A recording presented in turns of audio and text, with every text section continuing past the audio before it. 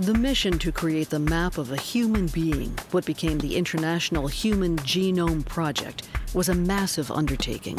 Officially launched in 1990, this was biology's first foray into big science, a consortium of more than 2,000 researchers in 20 labs in six countries, all working on one problem The project's funding came in large part from the U.S. government through the National Institutes of Health. Somebody has to put up the front money to start big projects. And I felt it was a classic role for government. That, that if we got the ball rolling, that at some point, you know, the whole infrastructure of science and research in the university sector and the private sector, it would all take off. Different research teams took on separate tasks. Some were dedicated to sequencing the genomes of other species. Five were chosen a bacterium, a yeast, a worm, a fruit fly, and another mammal, the mouse. The hope was that these would shed light on the human code. At that time, it was, it was probably uh, a bit of a shot in the dark. People didn't really know how, how much different animals would be comparable and how much you could learn from one animal model system like the worm or the fruit fly and transfer it into humans. Uh, but it was a good guess that, that by finding out pieces of biological mechanism in the simpler organisms, you could learn about the human.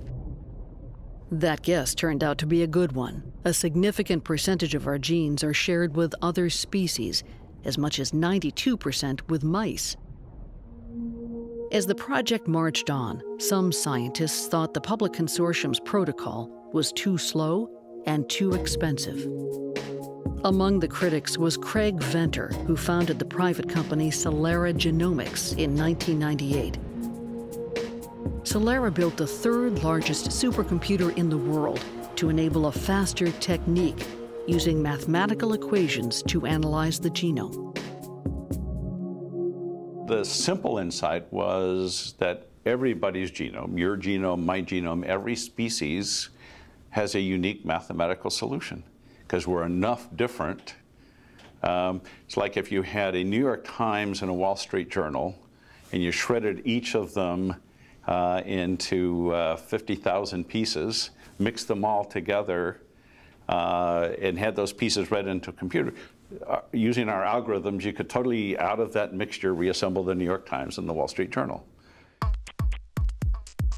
The private and public sectors raced to be the first to sequence the genome, a healthy competition that sped up the process. But the work was also accelerated by a commitment made right from the start by the International Human Genome Project to freely share data on a daily basis. It's a very good thing that the Genome Project was delivered in this totally open access fashion, that it would have slowed things down a lot if we'd not had the ability for everybody with a good idea to start working on it right away. On June 26, 2000, much earlier than expected, the world celebrated the completion of the first draft of the human genome sequence. Without a doubt, this is the most important, most wondrous map ever produced by humankind. Uh, if you look at what Jefferson sent Lewis and Clark out to do, to map the way from the known America all the way to the Pacific. And Lewis and Clark found a lot of other interesting things along the way. We needed to map America. In the same way, we need to map the human body and the, the genome is our map of life.